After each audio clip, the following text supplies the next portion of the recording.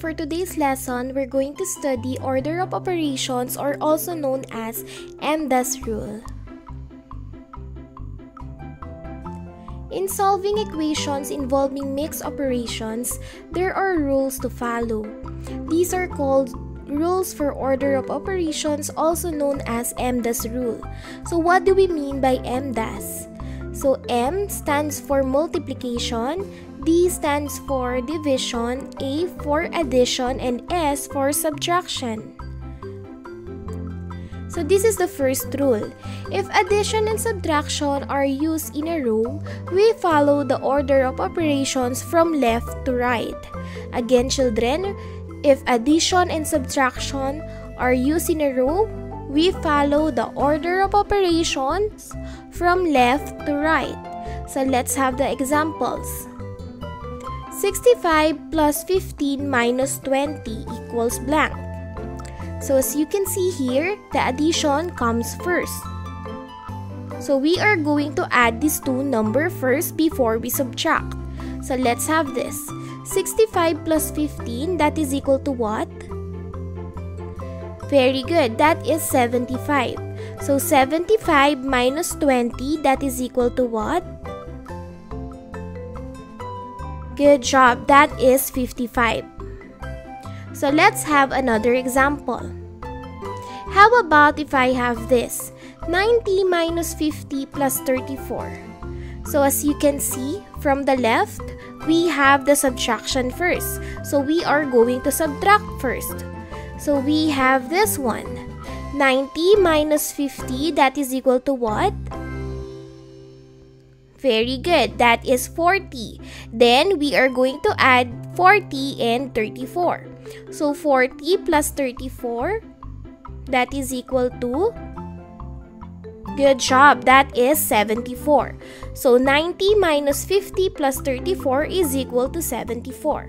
Always remember if addition and subtraction are used in a row, we follow the order of operations from left to right. Is that clear? Let's have the second rule. If multiplication and division are used in a row, we follow the order of operations from left to right. So we are going to use again the left to right, okay? So again, if multiplication and division are used in a row, we follow the order of operations from left to right. So let's have an examples. 6 times 5 divided by 3.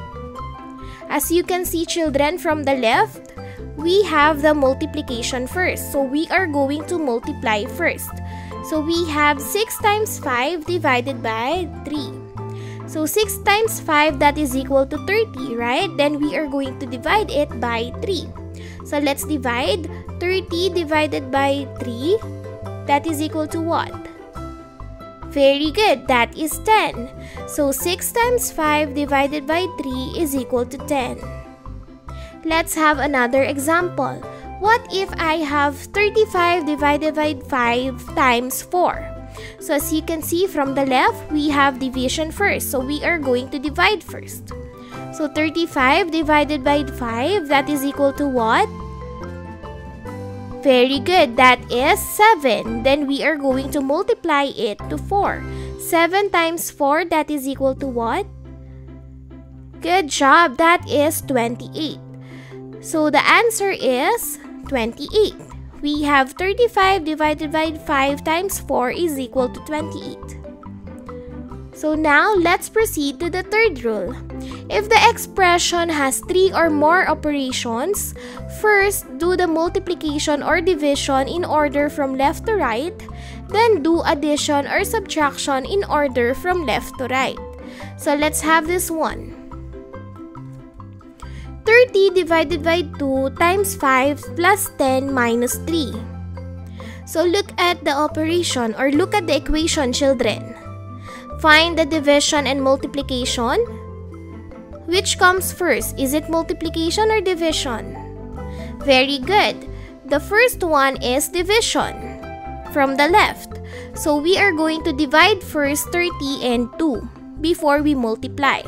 So let's divide 30 and 2. 30 divided by 2, that is equal to what?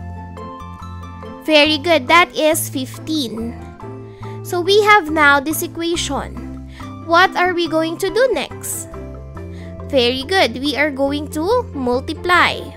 15 times 5, that is equal to what? Good job, children. That is 75. So after the division and multiplication, we are going to do now addition or subtraction. So which comes first? Is it addition or subtraction? Very good. That is addition from the left. Remember ha?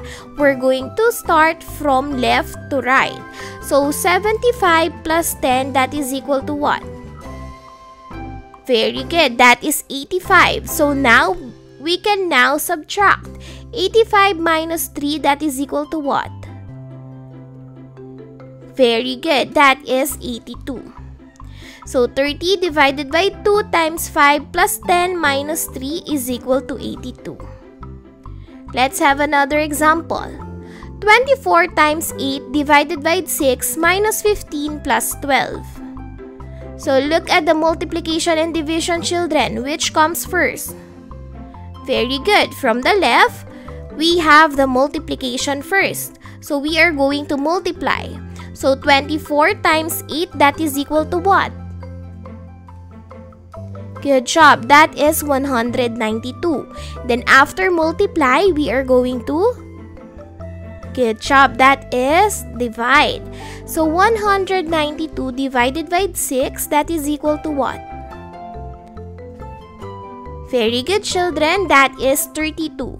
So after division and multiplication, what are we going to do next? Is it addition or subtraction? Remember the rule from left to right.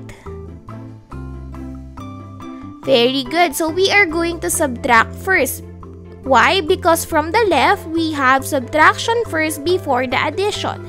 So 32 minus 15, that is equal to what? Good job. That is 17. So we can now add 17 and 12. 17 plus 12.